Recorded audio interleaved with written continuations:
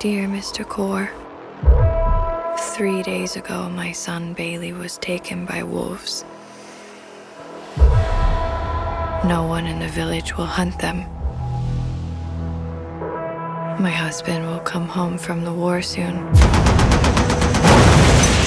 I must have something to show him. So you come to kill it? To kill the one that took him? I came to help if I can, to explain this if I can. It's not the first time people died out there. The hillside is scattered with pieces of bodies. That's what you get when you talk to the villagers. People are dying. That's real enough.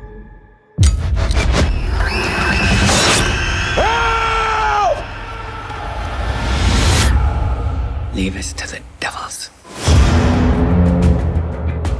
You're the one fought my boy. Yes. Do you raise the dead? No, sir. Then I have no questions for it. Never seen anything like this before.